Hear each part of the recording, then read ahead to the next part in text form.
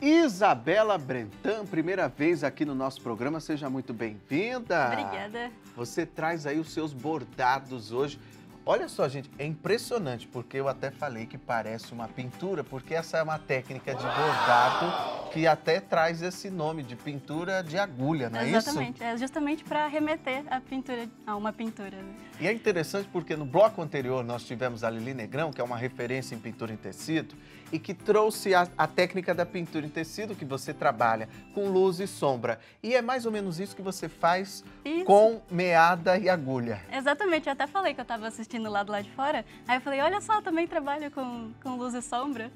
Aí a gente vai explicar agora em questão de bordado e não em pintura. E né? é por isso que fica tão realista. Olha essa foto desse cachorrinho aí. Foto não, né? Parece uma foto, mas é bordado. Olha que lindo, gente. Que trabalho maravilhoso. Perfeito. Perfeito mesmo. Obrigada. Já há quanto tempo já você faz esse trabalho? Eu bordo desde 2017. Olha o gatinho. que impressionante, né? Os olhos, os olhos. Tem uma, uma arara também ali. Eu tô vendo meio de longe, acho que é uma arara. Sim, é uma arara É uma, é uma arara. Olha só que bonita essa arara também. Desde quando que você faz? Desde 2017. 2017. Por que, que você escolheu o bordado? Foi bem aleatório, na verdade. O bordado entrou na minha vida muito do nada, assim. Minha avó me deu um curso, eu comecei a fazer. Legal. E aí, a partir disso, já fiz um Instagram já, já comecei a divulgar, fui aprendendo. E pronto, já tá, pronto, já exatamente. tá craque assim, veio nos ensinar pela primeira vez aqui no nosso programa. Exatamente. Por onde a gente vai começar então, Isabela? Bom, primeiro eu vou explicar o que que é a pintura de agulha, né? Porque quando as, as pessoas que estão assistindo olham para os bordados, fala assim, nossa, eu nunca vou conseguir fazer um negócio assim. É muito difícil, É, né? eu nunca peguei numa agulha, como que eu vou Uhum. bordar um treco assim? Mas tem o passo um, tem a fase iniciante da pintura de agulha, que é o que a gente Certo. vai fazer aqui. Tá, legal. A pintura de agulha nada mais é do que um, um preenchimento em camadas. Uhum. Então, não importa o risco que você estiver fazendo, você vai preencher de pouquinho em pouquinho, de camada em camada, com a sua linha. Certo. E aí, por causa disso, a gente consegue, por exemplo, é, ah, entre uma camada e outra trocar de cor ou fazer uma curva. Então, te dá muitas Ah. possibilidades e por isso que a gente consegue fazer o bordado realista. Fica tão perfeito assim. Exatamente. Entendi. É, dá para fazer bordado realista, mas não precisa também ser realista. Pode ser, por exemplo, preencher a flor aqui que eu vou fazer com uma cor só, Uhum. é, fazer a pétala com uma Daí cor serão só. menos camadas, né? Não, continua sendo em camadas, só que você não vai trocar de cor, você não vai fazer um Ah, tá, degradê você com as faz com suas uma cor cores. única, entendi, Isso, entendi. exatamente. E aí você escolhe o nível de realismo que você quer colocar no seu bordado, entendeu? Certo. Aí os meus bordados eu gosto de fazer bem realista, por isso que tem bastante detalhe. Várias cores. Exatamente. E eu bordo Vários tons. há sete, seis anos por aí, né? Aham. É, mas quem começou agora também não precisa. Você utiliza fio de meada? Isso, aqui eu tenho nas plaquetinhas, mas é fio de meada normal. Mas daí você não utiliza os seis fios. Não. Nos meus trabalhos pessoais, eu uso um fio só, Certo. só que aqui eu vou usar dois fios para ser mais rápido o Aparecer preenchimento. E para quem estiver em casa querer fazer também, é mais rápido de fazer com dois fios ao invés de um. Mas para Perfeito. ficar mais delicado, usa um fio. Ótimo. Vamos começar? Vamos. Por onde então? Bom, aqui eu já tenho um corte de tecido algodão cru, que é Tá. o mais usado aí para bordar. Certo. E aqui eu também já fiz o risco. O risco, eu não sei se vocês vão colocar nos stories, Vamos- já que tá eu nos disponibilizei. nossos stories já, Isso, boa. risco. Lá em arroba faça você mesmo TV. Exatamente. Aí lá tem o risco para vocês pegarem. Uhum. Já passei aqui pro tecido e já coloquei no bastidor. O bastidor é uma ferramenta que serve para esticar o tecido e ajuda muito na hora de bordar. Certo. Então já coloquei assim, principalmente na pintura de agulha, porque se você borda fora do bastidor, às vezes dá ondinha em volta do bordado, sabe? Aí Ah, não tá. fica muito legal. Entendi. Aí é legal usar um bastidor para bordar. Ótimo. Bom, o primeiro passo da pintura de agulha, como eu falei, ele é bordado em camadas, né? Uhum. E ele te dá muitas possibilidades, é muito livre mesmo. Isso que é bom, né? Exatamente. E o primeiro passo para bordar a pintura de agulha é soltar a mão. Certo. É literalmente Ah, se é? soltar. É, porque como as pessoas olham um trabalho mais realista igual o que eu faço, elas Aham. ficam com medo. E isso impede elas de fazer a pintura de não pode agulha. deixar a mão tensa. É, não pode deixar a mão tensa, tem que soltar a mão, dar um remexe, mexe e Relaxar. Inc- Inclusive, a Isabela falou que ela estava um pouco nervosa. Pronto, você já aproveita para relaxar. Exatamente, é, tô aproveitando aqui para extravasar também. extravasar o nervosismo. Bom, aí depois que você relaxou, Aham. a gente começa a bordar. Tá. Aqui eu tenho o tecido com o risco já Certo. e eu tenho o risco principal, né, que é uma florzinha. Só que a gente pode adicionar alguns outros riscos, que são as linhas guias, para direcionar o nosso preenchimento, para ficar mais fácil de preencher, para te dar uma noção melhor. Eu vou bordar essa pétala aqui primeiro Uhum. E o primeiro, a primeira linha que eu posso colocar para me ajudar é a linha de direção. Porque aqui eu vou escolher, né, se eu quero colocar todos os pontos de comprido, que é o que eu quero nesse bordado, colocar todos os pontos de comprido, então eu coloco o risco também de comprido Tá. para me direcionar. Certo. E eu também posso colocar o meu risco de mudança de cor. Aqui a gente vai fazer um degradê básico com três cores. Uhum. E aí eu vou fazer então três partezinhas para saber quando que eu vou mudar de cor. Tá. Então, fiz aqui uma partezinha, outra partezinha, tenho três, Ah, certo. três partes. E aí, esses dois tipos de risco me direcionam na hora de bordar, fica mais fácil. Uhum. Para começar, eu vou usar, como eu disse, dois fios na agulha, né? Porque fica Você mais começa rápido com de a preencher. cor mais clara? Nesse caso, sim, eu vou começar aqui de fora com a cor mais clara, aí aqui no meio eu vou preencher com a cor média Uhum. e aqui perto do miolo eu vou preencher com a cor mais escura. Que ponto que você faz? É a pintura de agulha mesmo. Ah, a pintura tá. de agulha, na Não tem verdade, um ponto específico. então, a pintura de agulha, na verdade, é uma técnica Aham. é, que é conhecida por causa desse preenchimento e tal, mas o ponto específico chama ponto longo, ponto curto. Tá. Porque como a pintura de agulha eu quero fazer o bordado ficar parecendo uma pintura, eu Uhum. posso usar outros tipos de ponto para chegar nesse resultado, Esse entendeu? Resultado, entendi. Por exemplo, nessa florzinha eu também uso o nó francês. Hum. Não sei se... Que é o miolo, não? É, é esse miolinho aqui. Certo. Aí eu uso o nó francês para dar esse aspecto mais fofinho Cheinho, no né? miolo. Isso, exatamente. Perfeito. Olha como fica lindo. Muito lindo. Então, Vamos fazer então, vamos lá. A pintura de agulha posso usar vários pontos diferentes, mas o principal que eu uso na maioria do tempo é o ponto Uhum. longo, o ponto curto. Mas todo mundo chama tudo de pintura de agulha e é isso aí. Certo. Bom, eu vou começar com a agulha entrando aqui. Eu estou usando uma agulha número 9 de costura. Tá. Vou começar entrando aqui no centro do bordado. Deixa eu só dar uma esticada no tecido, que no transporte ele desesticou. Pronto.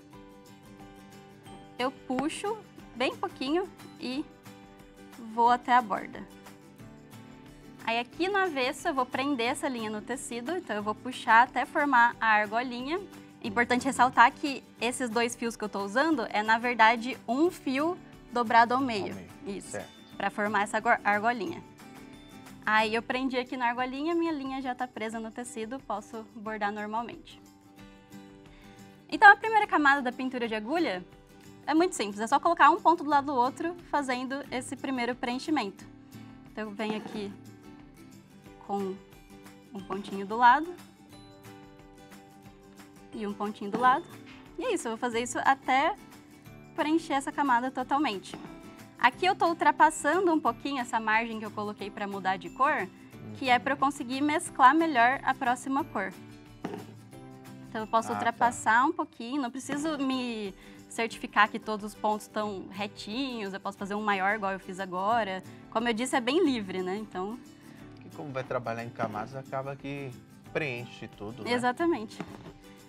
Aí eu vou fazendo a primeira camada desse jeito, colocando um pontinho do lado do outro. Eu geralmente coloco o primeiro ponto mais pro meio, aí eu preencho primeiro uma metade, depois eu volto preenchendo a outra. E aqui, ó, já tô colocando todos os pontos também de comprido, seguindo o risco, o outro risco que eu fiz. É uma técnica que rende, né? E olha, vai rápido. Com o fio demora um pouquinho mais, mas eu também gosto bastante do resultado, né? Eu, tenho, eu trouxe até a diferença entre o bordado com dois fios e o bordado com um fio só. Mas a pintura de agulha você também pode bordar com qualquer quantidade de fios. É que a textura sempre vai ficar diferente, né? Dependendo da quantidade que você usar. Uhum. Aí eu volto e preencho o resto. Vai preenchendo essa pétala aí, ó. Se você tiver qualquer dúvida, mande lá no nosso Instagram, arroba Faça Você Mesmo TV. Compartilhe com a gente aí. Pronto, acabei já a primeira camada. Para eu arrematar essa linha, Hum, pode voltar lá. Obrigada. Para arrematar essa linha, é só eu virar aqui para avesso e passar ah, a agulha passa por baixo, já fica presinha. Aí E daí eu agora você vai trocar de cor. corto. Isso, agora a gente vai Certo. ir para a próxima Já cor. vimos o arremate aí então, Exatamente. né? Pronto. Agora vamos para outra cor. Agora a gente vai para a cor do meio, mas como eu disse, ah, só tenho uma cor de linha em casa. Beleza, preenche dessa mesma forma, fazendo de camadinha em camadinha, só que com uma cor só. Eu gosto de fazer o degradê porque dá um tchan, né? Dá um- Sim, fica diferente, É. dá um destaque. Exatamente. Agora aqui eu vou... A primeira cor que eu usei é meio rosa, né? Uhum. A segunda cor é mais roxinha, para começar esse degradê. Então agora eu vou começar entrando aqui onde já tá bordado. E indo avançando para o tecido de novo, ultrapassando a, o risco de novo, igual a gente fez da primeira vez. Aí eu vou prender a linha no tecido, então eu viro aqui para trás e arremato. Volto aqui pra frente. E agora eu vou sempre entrar aonde já tá bordado e sair aonde ainda não tá bordado. Que você imagina mais ou menos aquele risco que você fez anteriormente, né? É, mas não necessariamente. Não Pode preciso ficar livre, ficar, né? é, bem é só livre. para ter uma noção. Exatamente. Sempre ideia, que você né? pensar em pintura de agulha, você pensa em liberdade. Então, Isso, isso que é bom. Exatamente, o É um risco é só para ter a noção.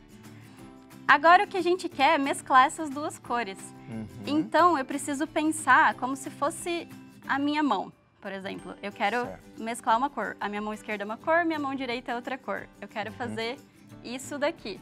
Certo.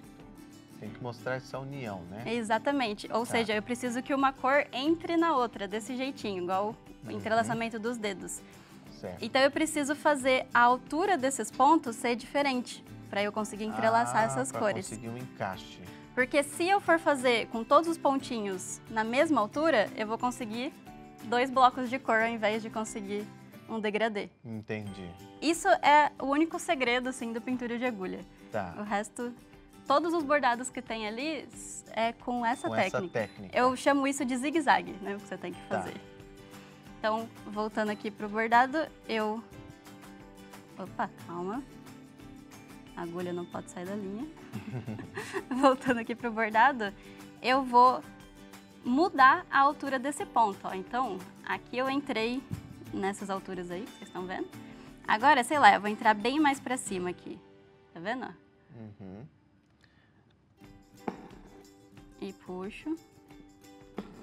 Tá vendo que ficou diferente? Ah, sim. Agora eu vou entrar mais pra baixo, que é pra fazer o zigue-zague e o entrelaçamento das cores. Agora entrei mais pra baixo. Fui. E é só isso, mas de novo, sempre livre, não tem também o segredinho. Agora eu entro um pouquinho mais pra cima, sabe? Eu vou escolhendo aqui onde eu vou entrar com a, com a agulha e vou seguindo com o ponto. Mesma, mesma coisa, colocando um pontinho do lado do outro pra Essa referência das mãos que você deu é muito boa, essa referência. Sim. Fez a gente entender É, fica mais fácil de entender, né? Sim. E a diferença ali, ó, você consegue ver, fica mais sutil. Isso. Né? aham.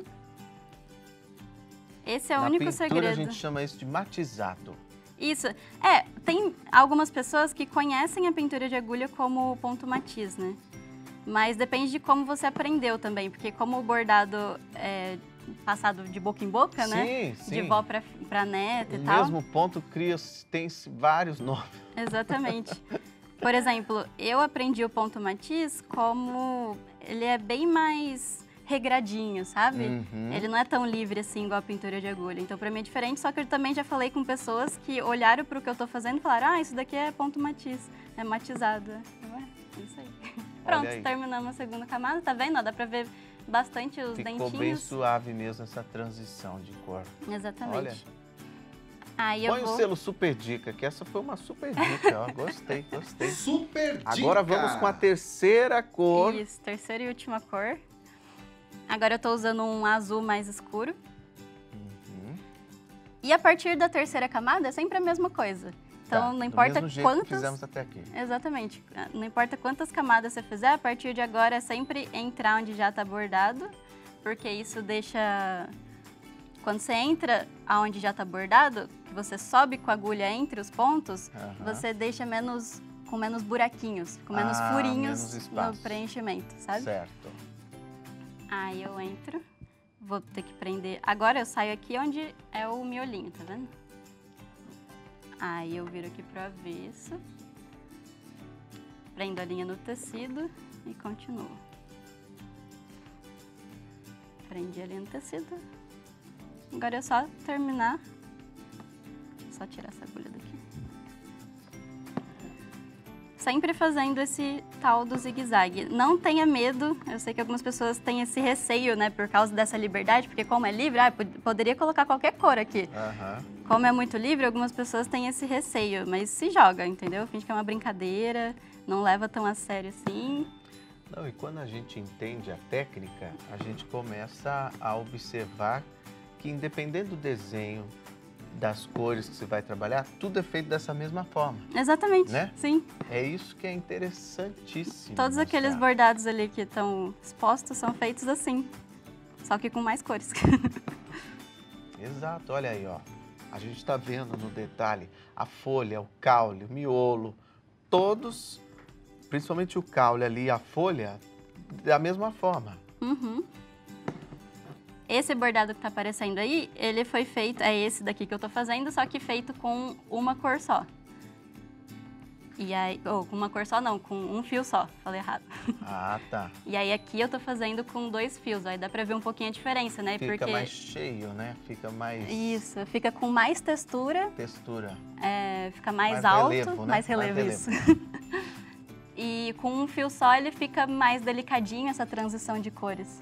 Perfeito, gostei demais, viu? Aí Diga lá. Aí para fazer todas as pétalas é seguindo esse mesmo esquema aqui. Que eu não vou fazer tudo porque não vai é, dar é tempo, da né? mesma forma, é só fazer uma repetição, né? Exatamente. E aí eu posso, por exemplo, essa segunda pétala aqui, ela é maior, né? Certo. Então eu vou ter que colocar mais camadas. Você trabalha pétala por pétala? Uhum. Pétala por pétala. Não é que dá para aproveitar a cor e já ir. Ah, não, dá. Por exemplo, aqui no cantinho eu deixo a cor, por exemplo, eu usei o roxo e o azul. Hum. O rosa eu já arrematei, né? Tá, Eu usei o roxo e o azul e vi que sobrou bastante linha. certo. Eu posso deixar eles aqui no cantinho, Ah. que aí depois eu pego eles de novo para usar na próxima Ah, pétala. Ao invés de entendi. cortar toda Faz- a linha. Faz entendeu? vários arremates. Exatamente. Muito bem, vamos mostrar mais uma vez os seus trabalhos. Tem, eu tô vendo um pouco distante, eu não sei se tô certo. Balinha ali tem uma, uma paisagem, é isso? É uma- Isso, é uma paisagem, é isso é, mesmo? é o um morrinho que tem em Santos, que eu esqueci o nome agora. Como é que é? É um morro que tem em Santos, que eu ah, não em sei o nome. Santos, no litoral paulista? Olha que bonito. É um morro famoso lá. Olha, gente, até uma paisagem, que coisa mais linda, que impressionante. Os prédios ali, uma homenagem para Santos, ó, que bonito. Isabela, muito obrigado. Nós estamos passando seus contatos. Você ensina mais lá no YouTube, no seu Instagram, é isso? Sim, eu ensino e eu também disponibilizei, não sei se vocês já colocaram nos stories também, mas eu disponibilizei um PDF com o passo a passo inteiro da florzinha. Ah, é? Que É, legal. Um e-book, sabe? Gratuitamente? Isso, muito gra- obrigado. gratuito. Eu agradeço. Vão lá então, gente. Acessem lá no Aí quem não Instagram. conseguir pegar nos stories, né, porque some, Certo. pode me chamar lá no Instagram que aí eu passo pelo Instagram também o, o e-book gratuito. Olha, tem muitos comentários, uma pena que não vai dar tempo de eu ler aqui, mas continuem deixando aí os recados. Muita gente gostou da sua didática, da sua aula, do seu Obrigada. trabalho, viu? Parabéns, seja sempre bem-vinda Obrigada. aqui ao nosso programa, Obrigada, viu? Muito obrigada pelo convite. A gente que Posso mandar agradece. beijo? Por favor, por favor, fica à vontade. Onde que eu olho? Aqui, ó, Aqui. pode olhar aqui, ó. Aqui. Aí, aí. Um beijo então para minhas alunas que estão me assistindo. Um monte de gente me mandou mensagem no Instagram falando que estava me assistindo. Um beijo para todos os meus alunos. Um beijo para minha mãe que está aqui comigo. E Um até beijo, acompanhando ali a mamãe. um beijo para minha família, minha tia Soli que está me assistindo também e para o Danilo e para o Habibid. Ah, então tá certo. Muito obrigado, viu, Obrigada. querida? Seja sempre bem-vinda. Tchau.